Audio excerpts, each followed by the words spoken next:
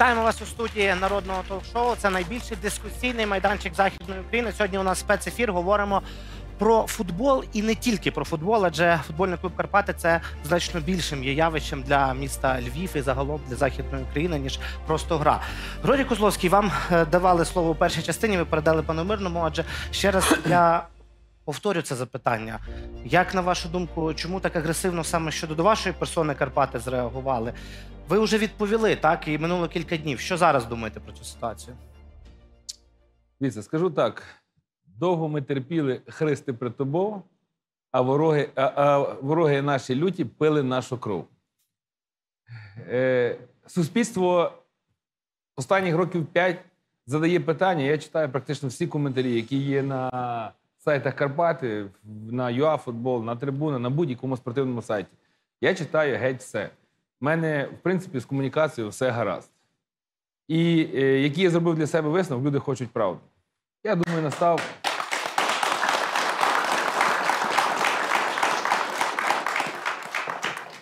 Я думаю, настав слушний момент розказати правду. А ви розумієте, я її знаю багато. Е, Почнемо з садового. Андрій Іванович, йому великий привіт. Не розумію, що за світла людина порадила йому влізти в цю історію. Садовим Андрієм Івановичем я мав більше 20 розмов про Карпати. І дуже активних років 4. Дуже активних. І пропонував е, геть різні варіанти, як можна е, в той чи інший спосіб спасти Карпат. Андрій Іванович прийняв позицію е, не допомогти людині, коли була хвора. От Ігор сказав, що ми пізно почали. Може, хтось і пізно почав. Я все життя борюсь за Карпат.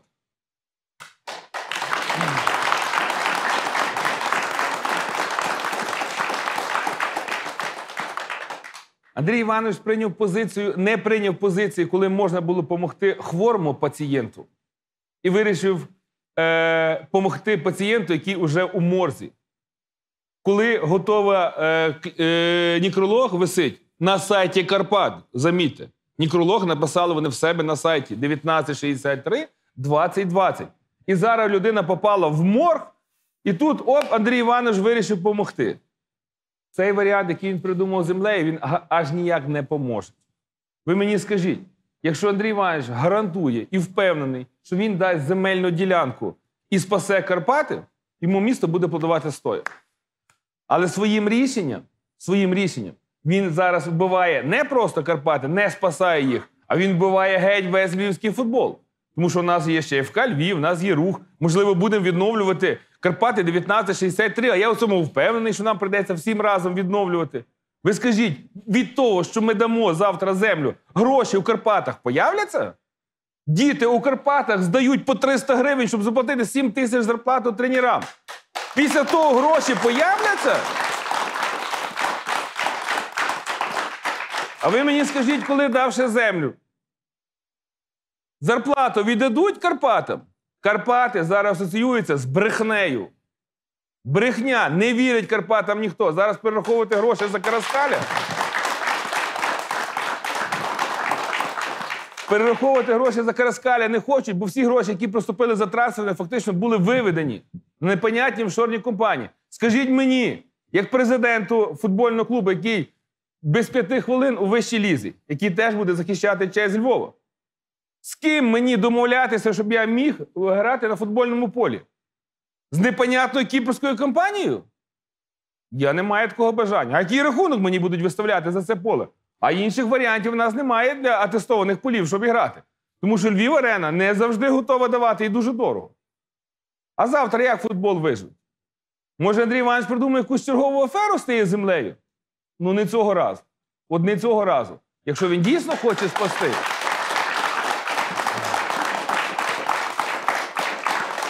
Якщо він дійсно хоче спасти Карпати, зареєстрована ухвала.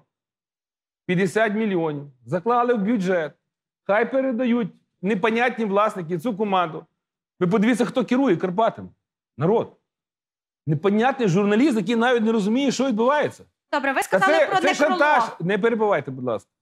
Це шантаж, це низький шантаж. Вони зараз владу, депутатів, вболівальників, футболістів хочуть витерти ноги. Ні, ребят, так не буде.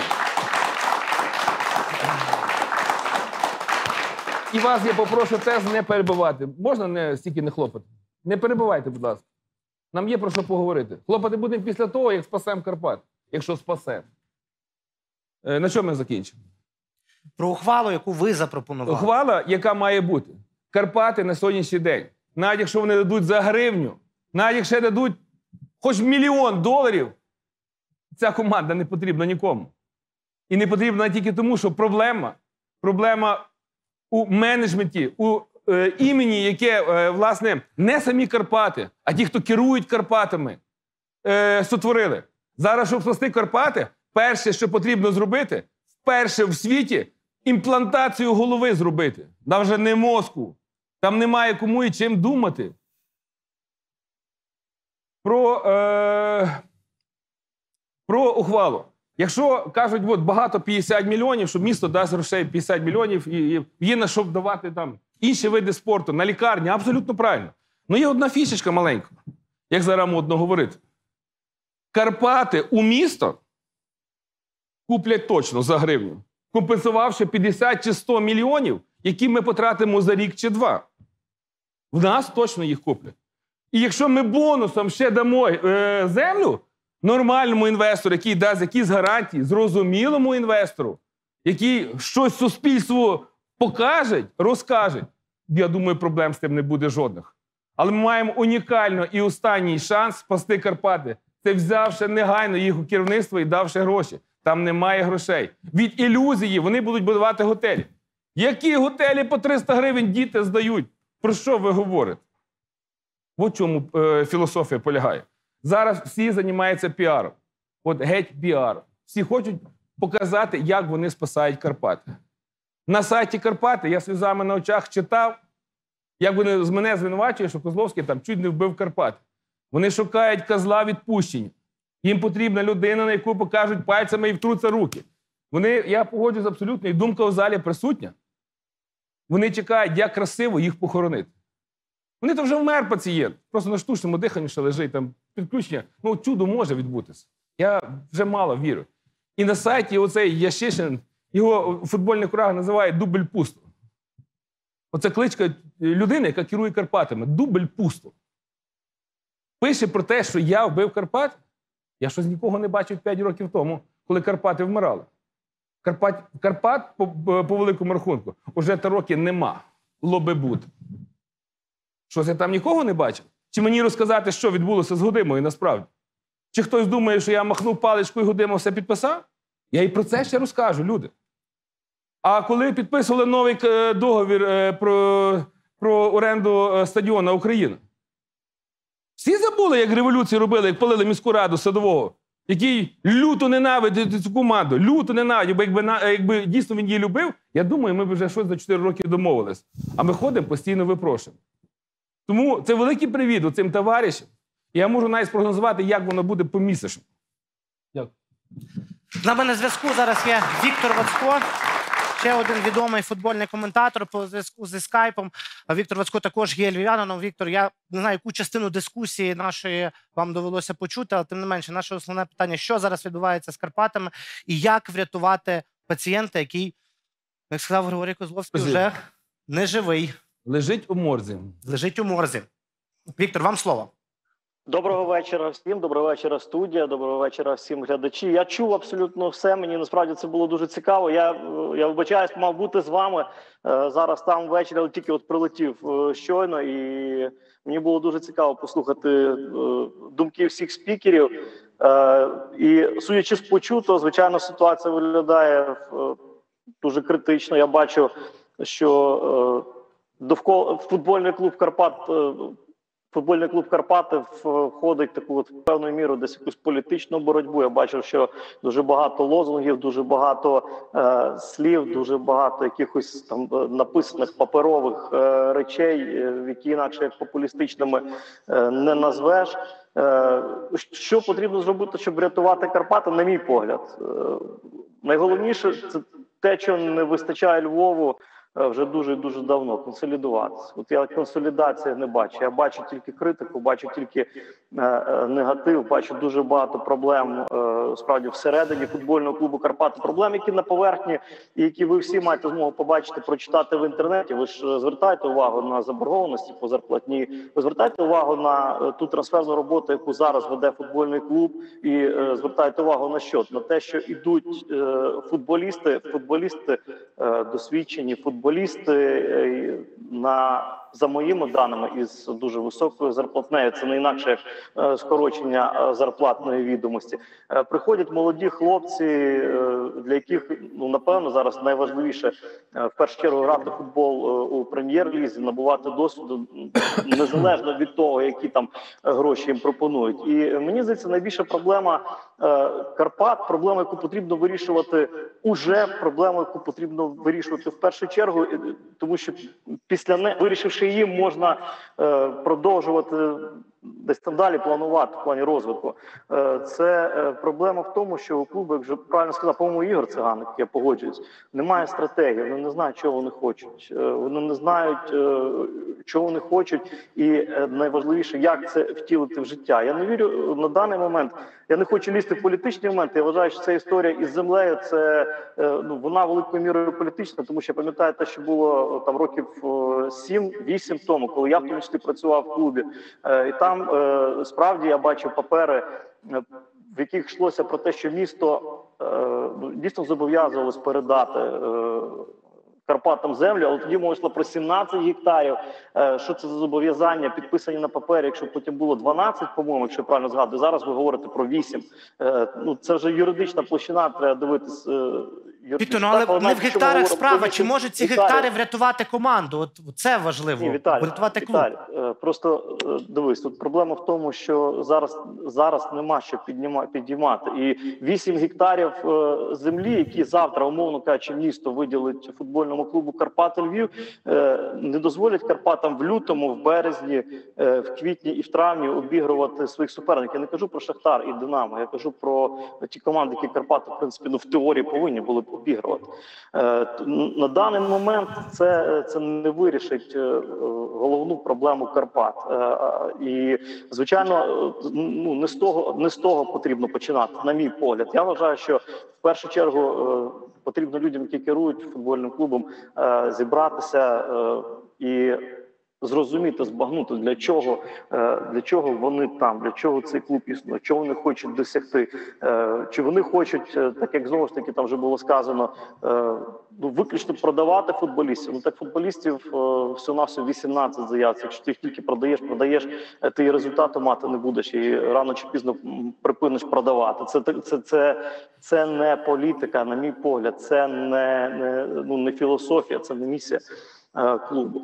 Тому е, зараз мені здається, що ця земельна ділянка, це ще раз повторюю, це не те, що вирішить е, проблему і питання клубу, от е, прямо відразу. Єдине, що зараз показується, от історія із земельною ділянкою, що знову немає консолідації у е, львівському футбольному суспільстві. Я переконаний, що е, в першу чергу консолідація е, всередині міста, консолідація людей важливих, людей впливових, людей, е, які е, мають можливість там е, допомагати матеріально, допомагати фінансово. Вона насамперед дуже важлива для Карпат. Я говорю знову ж таки в короткочасній перспективі, тому що ми зараз говоримо про команду, яка займає останнє місце в турнірній таблиці. І повірте, багато розмов іде е, в футбольних колах серед футбольних людей. Карпати зараз називають номером один, першим номером на виліт з прем'єр-ліги. Дякуємо. Віктор Васько був з нами на зв'язку по скайпу. І е, колега Віктор Васька Ігор Циганик має що додати. Послухав Вітю, і е, мене от слова Марк'яна теж так само трохи зачепили. І Григорія Петровича. Перше почну з, е, з про е, президента футбольного клубу Рух. Справді, три роки тому, ну, напевне, тільки от троє людей знають. Це я, він і Вацко. Насправді, Це було в першій ночі прийнято. Так, що відбувалося, що відбувалося? Дійсно, Карпати померли. От я, вам- я, я, я можу точно сказати, що Карпати померли. Тодішній генеральний директор Карпат сказав, що все. Тому що їм заборонили. Федерації, на федерацію прийшов лист, на про, про, про якому команду повинні були перевести, позбавити 12 очок і перевести в першу лігу. Все, закінчилося. Потім у другу. Які були, які були фінти, що писала Федерація в УЄФА, Це ну, ніхто не знає. Як це все вирішувалося? Ну просто що е, я кажу, там деякі люди просто просили, казали, що слухайте, ви нас послухайте. Це ж Карпати, це ж просто так, це не цей. Ні за що. Ніхто ніяких грошей не ні, ні, ні, просто, просто було за Карпати. От ми просто зідзвонилися в першій годині ночі. Один подзвонив там е, Григорій Петрович е, дійсно взяв тоді на себе це питання з Гудимою. Інший подзвонив віце-президенту Федерації, і почалася оця вся катавасія. Карпати тоді просто врятували, просто лишили. Їм просто подарували це місце. Шанс. Ну, шанс, ну воно ну, ну але то ж не може бути постійно той шанс. Ну, як ну, має бути якась стратегія. Я е, послухав от Маркіяна, мені так само ну, ну не зовсім, чесно кажучи, е, зрозуміло. А я, а я, я, я, я, може, я далекий від політики, я справді далекий від політики. Я не дуже розумію. А мер міста він взагалі збирає депутатів і каже: ми дійшли консенсусу, і от у нас такі от питання. Чи такого, ну, в принципі, це дуже часто з Андрієм відбувається дискусія, коли він звертається в тому числі до депутатів через екрани телебачення. ну, Тому а- якщо відбувається дискусія, якщо вона проговорюється, таких заяв, таких речей просто не відбувається. Ну, тобто, ну, взагалі, тобто, не- нема такої От традиції. сьогодні я мав бажання з ним поговорити. Ні, ну просто що Е, нема такої традиції, що просто зібратися, Ми сказати. зрозуміли, от сьогодні я мав поговорити з ним в обід про Карпати. Хотів зрозуміти насправді його позицію і сісти щось придумати. Е, пів першій прийшла смс, що він захворів. Хоча з пані Супрун по місту бігав як е, навіжений. Ну, То я має бажання він говорити чи ні? Якась така, знаєте, ну абсолютно, ну, ну, ну дійсно, ну, ну якщо, Якщо просто людина хоче, е, хоче знайти щось- компроміс, якщо знайти хоче компроміс, допомогти, я так вона як мінімум вона е, приходить в сесійну залу і мінімум там присутня, і тоді дискутує, пояснює позицію, переконує зрештою, і тоді приймається якесь рішення. Якщо людина говорить, що вона знаходить компроміс і потім зникає, ну Я зрозумів. Це така Пан стара, Мирний. стара галицька традиція, я так підозрюю, так? Дуже, дуже коротко. Дуже давня.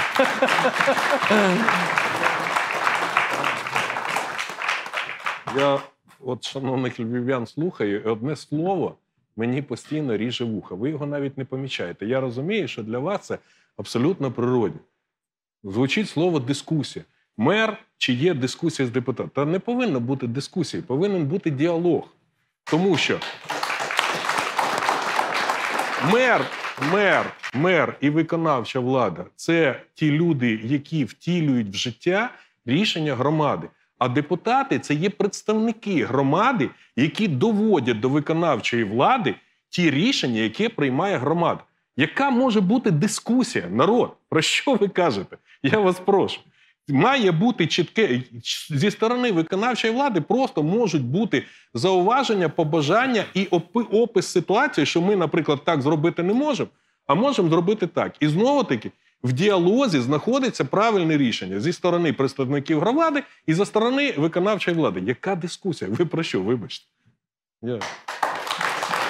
Віктор Вацько, як на мене, в своєму в своїй промові сказав дуже важливу фразу, що львівському футболу потрібна консолідація різних сил.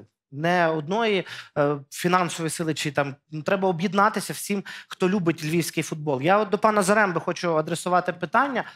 Ви в 89-му році, коли відроджували Карпати, ви якраз і об'єднували багато львів'ян е, в тому, аби допомогти клубу відродитися. І зараз, от якщо навіть говорити про цю пропозицію, яка в нашій студії пролунала, створення комунального професійного клубу Карпати, от можете провести паралелі?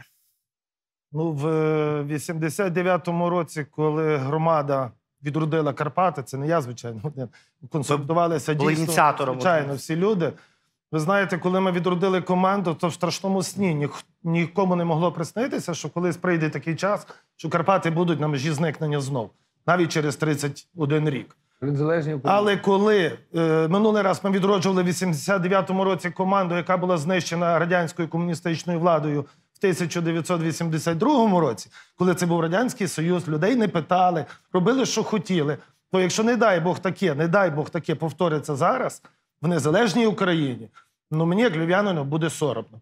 Ми в багатьох речах і політичних завжди львів'яни є флагмані, і якщо ми не зможемо врятувати свою команду, це звичайно буде дуже сумно.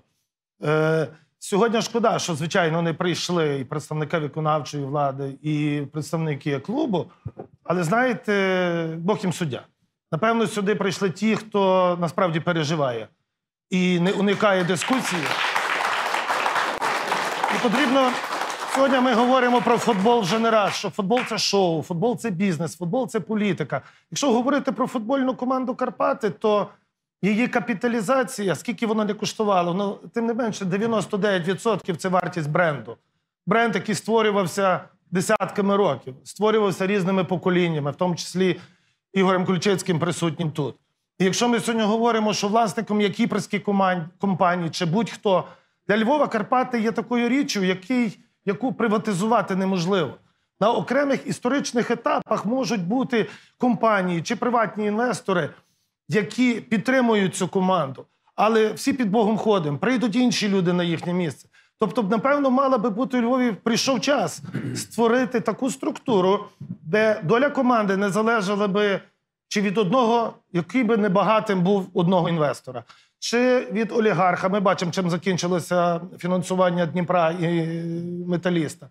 Щоб громада приймала, брала активну участь в існуванні цієї команди. Тому що е, інші, як показує час, е, варіанти вони можуть бути приречені. З тих часів, коли відродилися в 89-му році, це була як громадська організація. Звичайно, часи змінилися, але було дуже багато цікавих речей, які актуальні залишилися сьогодні. Тому для того, щоб консолідуватися, потрібно бажання. Якщо в декого нема бажання, значить треба знайти варіанти їх в цьому переконати. Ну, насправді ми сьогодні доволі багато говоримо і про землю, і про гроші. Але якщо бути відвертими, то останні щонайменше 8, 8 років у Карпат справді фінансові проблеми. І зрозуміло, що не безпідставно вони виникають. Наші журналісти підготували матеріал, дивимося, далі повертаємось до обговорення. Невиплата грошей футболістам, заборгованості, трансферні бани та судові тяганини. На жаль, Карпати в останні роки стали все частіше потрапляти у скандали. Згадаємо найгучніші і найболючіші. У сезоні 2014-15 років левів позбавили дев'яти залікових пунктів. А все тому, що Карпати, начебто, самовільно вирішили зменшити заробітну плату Мартіна Богатінова. Згодом голкіпер розірвав контракт з клубом та подався до суду. Наслідки для зеленобілих були невтішними. Позбавили 9 балів у турнірці. А з літа на Карпати очікувала заборона на трансферну діяльність. У 2016-му зеленобілі розпочали сезон із мінус шести очок. Все через заборгованість перед футболістом Семіром Щілічем, який виступав за левів у сезоні 12-13 років. Леви не доплатили боснійцю 142 тисячі доларів. Справу у палаті вирішення спорів ФІФА львівський клуб програв. Карпати судилися й із бразильським клубом Атлетико Метрополітано. У 2011 році зеленобіллі купили у цієї команди футболіста Еріка де Олівейру. А заплатити кошти у розмірі 750 тисяч євро забули. Атлетіко Метрополітано подав позов на левів у Лозану. І щоб ви думали, переміг у ньому. Кілька разів на сезон у змі з'являються повідомлення, що клуб затримує виплату зарплати. Складається враження, що Карпати балансують не лише на межі виліту з української прем'єр-ліги, а й на грані банкрутства. А от остання гучна справа Левів остаточно вирішилася лише у 2018 році. Стосувалася вона як з гравця зеленобілих Володимира Гудими. Цей футболіст захищав кольори основної команди Карпат з 2010 по 2014 рік. У підсумку львівський клуб заборгував йому понад 70 тисяч доларів, але сплачувати їх відмовлявся. Зняття очок, трансферний бан не були стимулом для Карпат, аби розрахуватися з футболістом. Керівництво зеленобілих всупереч усім футбольним законам звернулися у Франківський районний суд Львова загальної юрисдикції. За це ФІФА взагалі погрожувало Карпатам позбавити клуб професіонального статусу. Справа лише набирала обертів, і який би був кінець для левів, досі невідомий. Якби у справу не втрутився депутат Львівської міської ради, президент футбольного клубу Рух Григорій Козловський. Він особисто заплатив Володимиру Гудимі борг. Відтак футболіст від своїх позовів до Карпат відмовився. Ореста Вахоло, питання буде до вас, як до багаторічного уболівальника Карпат. Оці всі скандали навколо виплат, навколо недофінансування. Ви спілкуєтеся з футболістами, з ветеранами.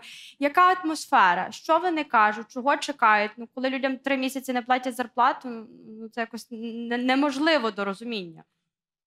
Хочу сказати, що е, Львівські Карпати це е, надбання Львова. Це не є якась така кишенькова іграшка однієї людини. І просто тримати в заручниках, знаєте, громаду і багатомільйонну е, армію підтримки, яка не тільки обмежується там Львовом, областю чи Галичиною. Карпати люблять в різних куточках Європи, світу і так далі.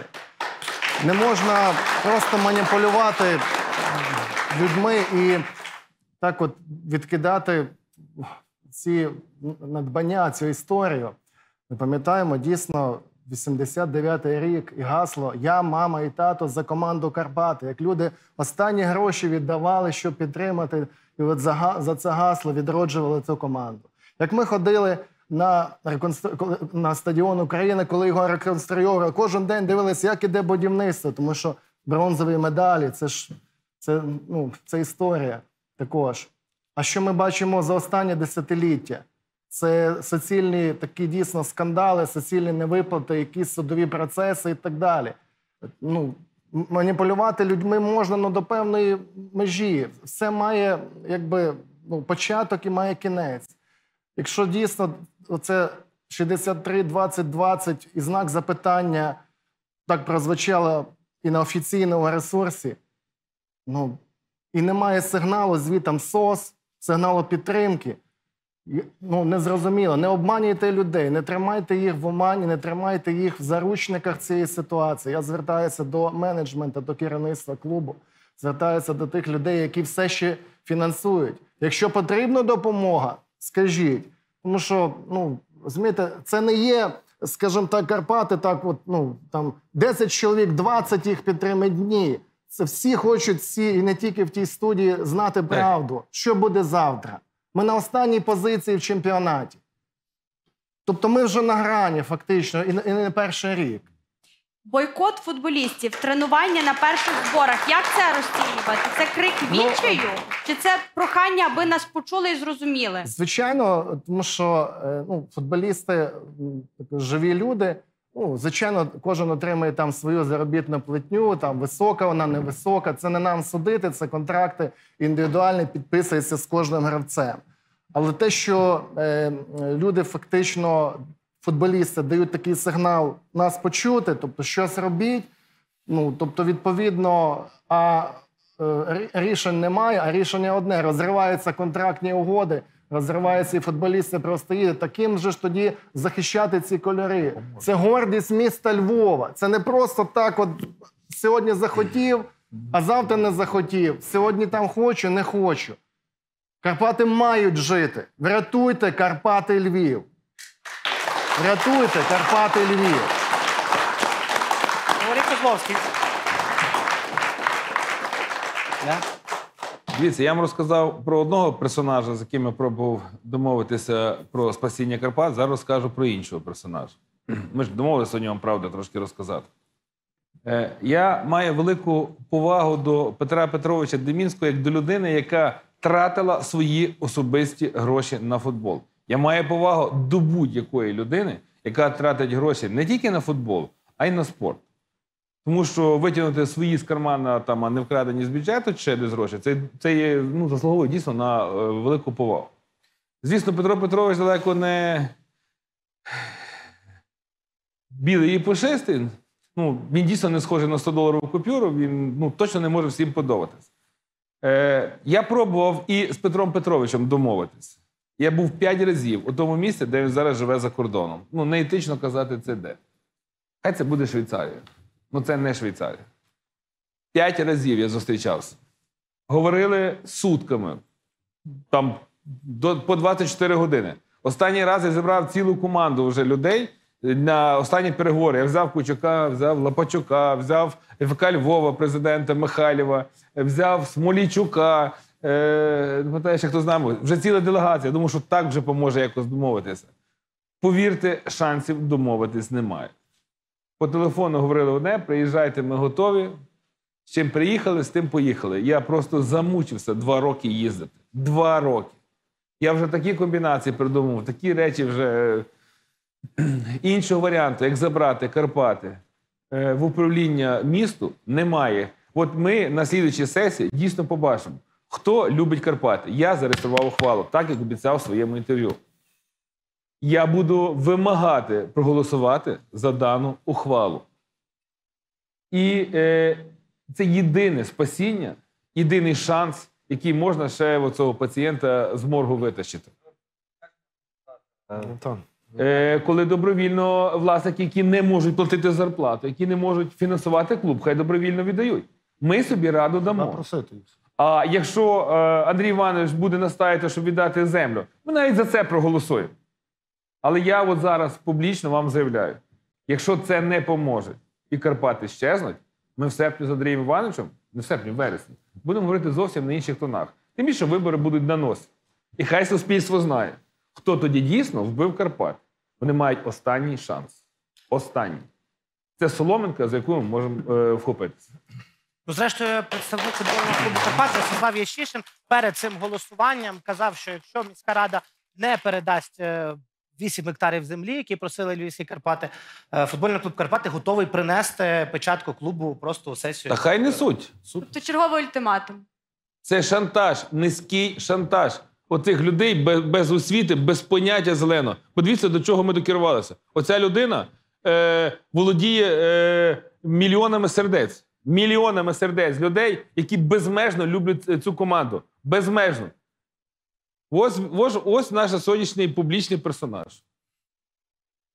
Тарас Павлі, ви підносили руку. Отже, в нас є пропозиція, як можна реанімувати футбольний клуб Карпати. Я б хотів сказати пару реплік та швидко. По-перше, коли був такий проект, скажімо так, е, народна команда, де Петро Петрович передавав своє управління. Ми довго з ним про це спілкувалися, теж і обговорювали. І основна його теза була, що я хочу відпочити, мені треба підлікуватися, я хочу передати комусь команду. Тарас, Я хочу тільки вточнити, що свого часу Тарас Павлів, як голова громадської організації завжди вірні, був введений в керівництво футбольного клубу Карпати. І офіційно було е, заявлено, що клуб е, клубом керуватимуть вболівальники. От тут така ремарка для тих, хто не знає цієї історії. Так, тобто в той час йшлося про те, що Петро Петрович хоче відійти від справ, фінансувати звичайно команду, так як він фінансував, тільки щоб хтось управляв. Тобто болів- він бачив болівальників як людей, які люблять клуб віддано без грошей, і він готовий їм передати ту команду. Пізніше було десь 2-3 роки тому. Він говорив про те, що за гривню він готовий віддати команду в управління. Зараз може той момент, коли вже ми вже думали реально, що 2-3 роки тому дно пробити, але воно все далі і далі. І я б хотів ще сказати про якщо після сесії міської ради всі говорили про те, що Григорій Петрович Карпати хотіли злити все, що Григорій Петрович винуватий, то зараз в тій студії не треба звинувачувати Андрія Івановича. Є проблема Карпат. Андрій Іванович не віддав землю в 12-му році, коли Петро Коли Петрович треба було віддавати. Коли ну, треба було це, віддавати. це відносне питання, тому що всі прекрасно знають ситуацію, що залили би знесли би Україну, залили би фундамент, лишалося би термін до євро початку і попросили би ще. І я можу розказати, бо я брав участь в тій ситуації, коли вже було рішення про віддання 17 гектарів землі, коли сказали, коли е, закінчували, тобто про- пройшло євро. На арені Львів не було кому грати, ще близько ніякої ні війни, ніякого не було. Тобто стадіон лишався пустим. Держава побудувала стадіон, на якому нема кому грати. І приїхало керівництво там з міністерства, було керівництво міста, керівництво області. Домовились про те, що Карпати приїжджають на арену, 19 гектарів ще в той час віддають е, тим самим двом кіперським компаніям. Ну тоді про то так голосно не говорили. І е, Карпати відповідно мають на утримання арени, мають на реальні шанси грати в вищій лізі, тобто в топ-3 команд. Але на, на наступний день появився список, який включав в себе 19 об'єктів е, з міста. Тобто, вже коли був той шанс, через день появився список. Я впевнений, що цього разу так само би було. Тому Андрій Іванович і в 12-му, і в 14-му, і зараз не віддасть, не треба на нього все вішати. Що Тараса, ви добре сказали про те, що не потрібно вішати і звинувачувати. Абсолютно не маємо наміру когось звинувачувати. Для мене особисто дивно, що міський голова, який закликає депутатів голосувати, виходить під час цього голосування, а на наступний день на виконкомі говорить, що е, голосування таке, яке було, це прикра помилка. Давайте будемо пробувати Дивіться, ще зараз раз. я- Не зовсім зрозуміло. Я розумію і прекрасно, я про що ви відслідковую говорите. його цитати дуже часто, і його звернення до депутатів дуже рідко. Це одинокі випадки, коли Андрій Іванович повторно просить розглянути певне питання. тоді би був не Григорій Петрович винуватий, а Андрій Іванович. Тобто шукають козла відбували. Тобто Андрій Іванович не хоче. двоє він був. Якщо- А якщо- якраз якщо двоє можна- буде винуваті. Ну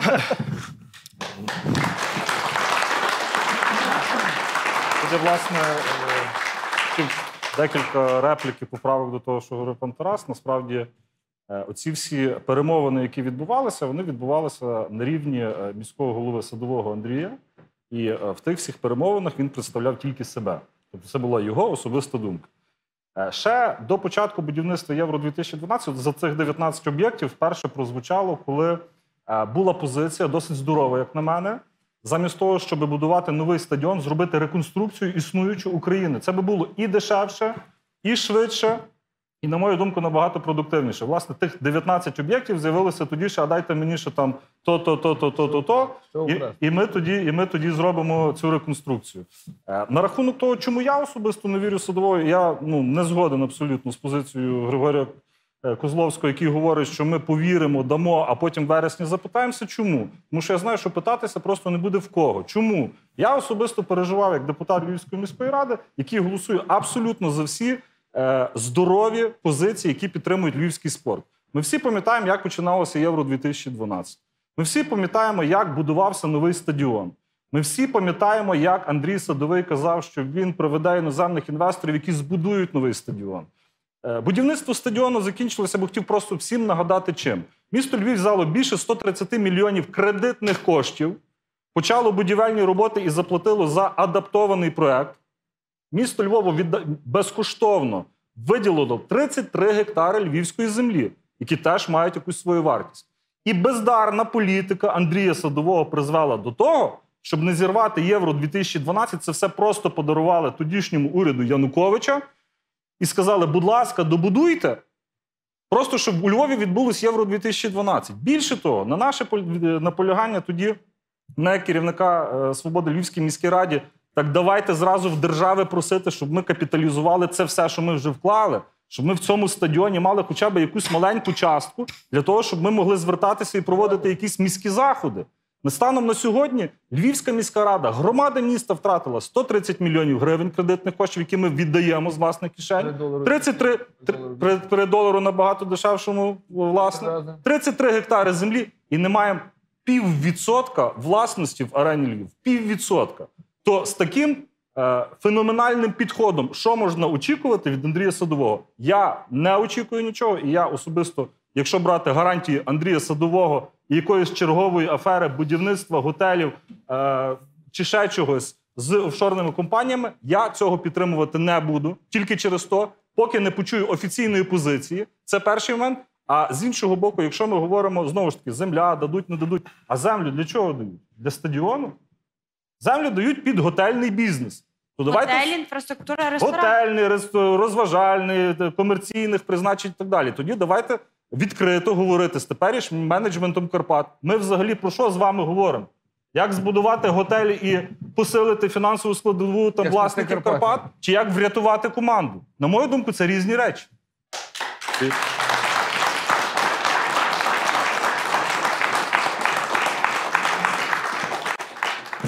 Маленька репліка.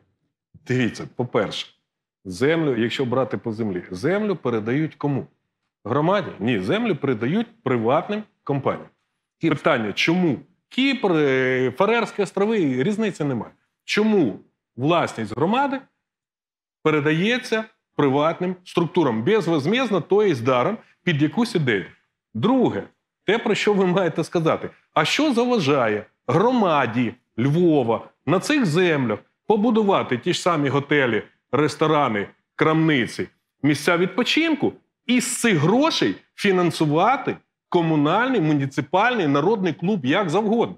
Тобто тоді громада не треба навіть закладати величезні суми на утримання е, міської команди в бюджет, якщо виділили цих 8 гектарів за рахунок громади, побудували всі ті об'єкти, які починають працювати, приносити прибуток і фінансують, і окремим рядочком прописується, що всі кошти, весь прибуток, отриманий на цих об'єктах, направляється на фінансування народної команди або інших видів спорту. Невже це так складно?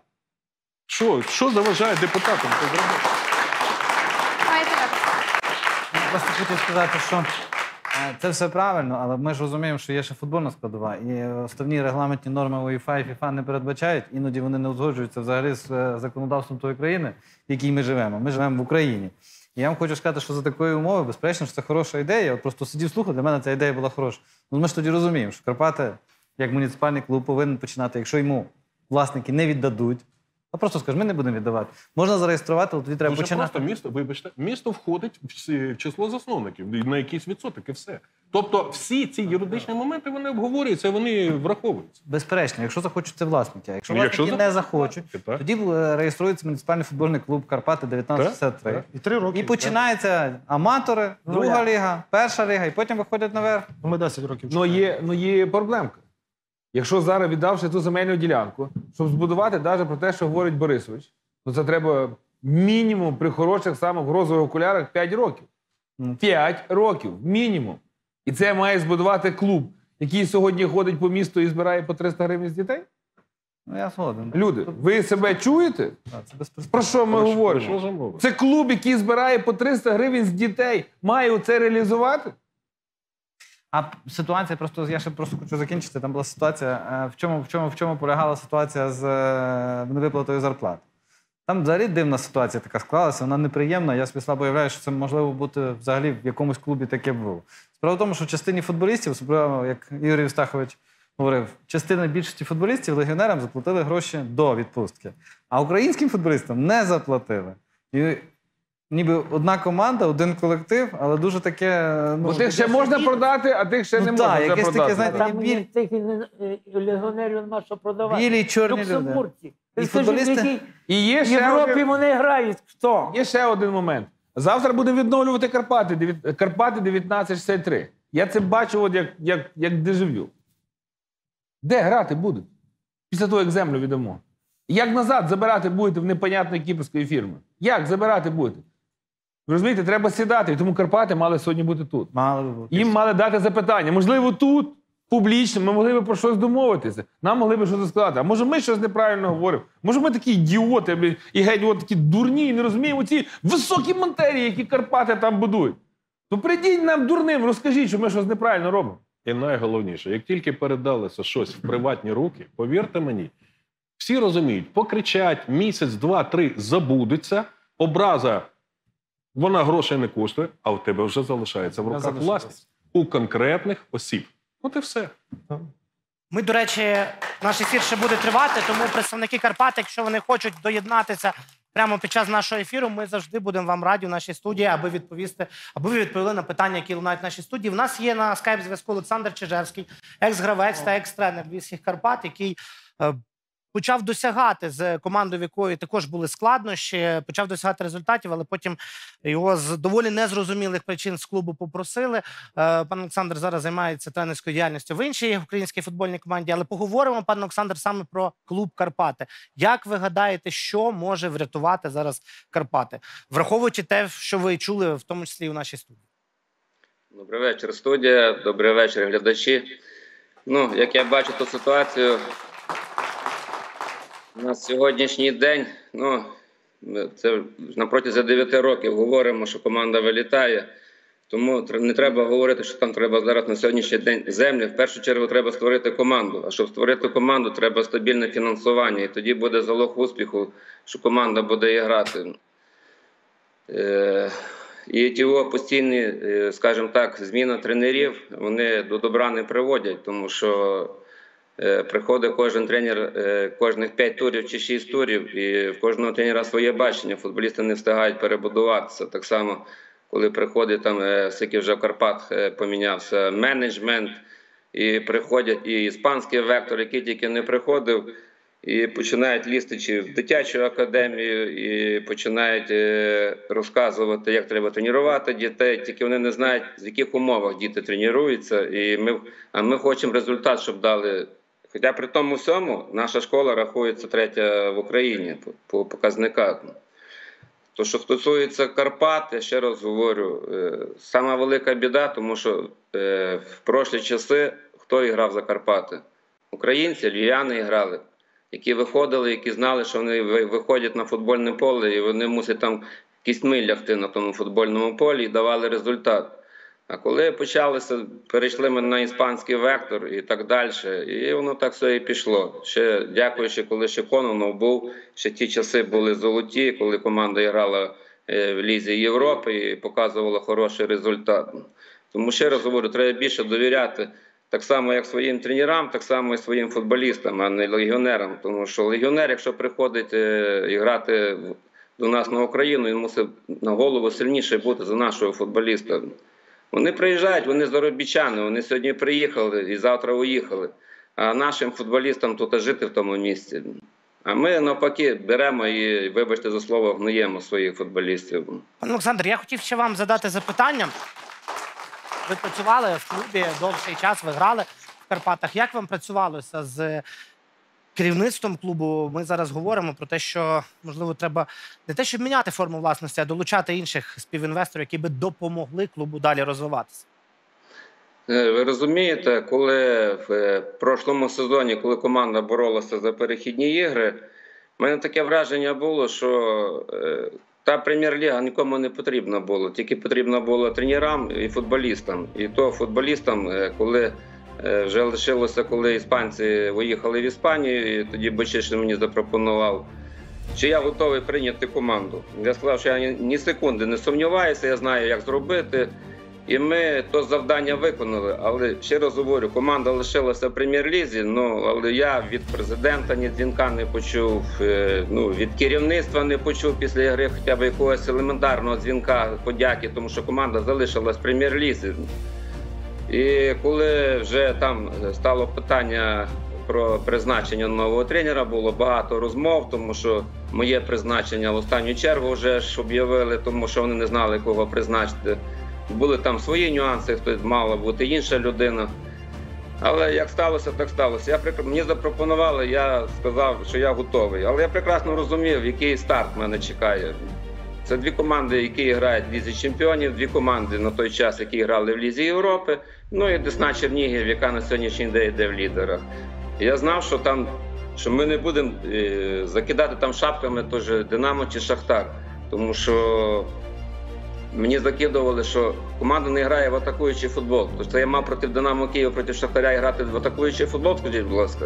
Пане Олександр, ми розуміємо, що вам це болить, але в першу чергу мусимо вам подякувати. Напевно, від імені усіх болівальників, що минулого року таки втримали команду у прем'єр-лізі. І дякуємо, що вийшли з нами на скайп. Зараз у нас в телевізійному ефірі коротка реклама в соцмережах. Працюємо без реклами, тому слово Тарасу Радюкіну.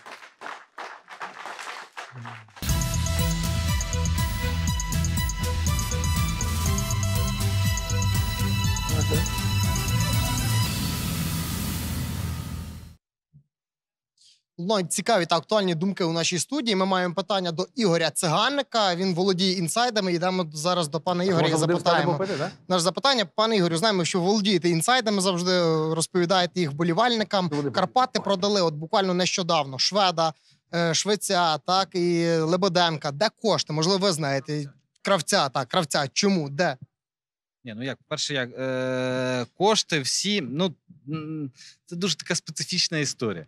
За ці кошти клуб живе, якийсь певний період часу живе. Комусь вони віддають, комусь не віддають. За шведа, наприклад, коли вони забрали в Севілі шведа, вони пообіцяли, що з подальшого продажу 30% вони перерахують Севілі.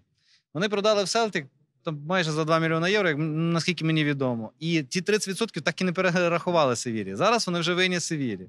За Караскаля вони ще гроші не отримали, але всі гроші знову ж таки підуть в Севілі, швидше за все. З приводу кравця Лебеденка, там були якісь певні частини при їхньому переході, там, особливо при переході, коли ми продавали е, кравця з Лугу в Леганес. Там була достатньо, ну, до- до- достатньо така цікава, цікава історія. І Карпати отримували ці гроші. Ці гроші, але вони проїдали. Недаремно Віктор Васьков, ви слухали, що він сказав, що насправді літом були підписані дуже дорогі футболісти, футболісти з дуже великими зарплатнями. Тобто уявіть собі, що середня зарплатна відомість футбольного клубу Карпати з літа була приблизно 200 тисяч доларів в рік. Це дуже Зараз продовжимо. Добре, в студії. В нас завершиться рекламна пауза, і в студії продовжимо. Друзі, повертаємося до ефіру.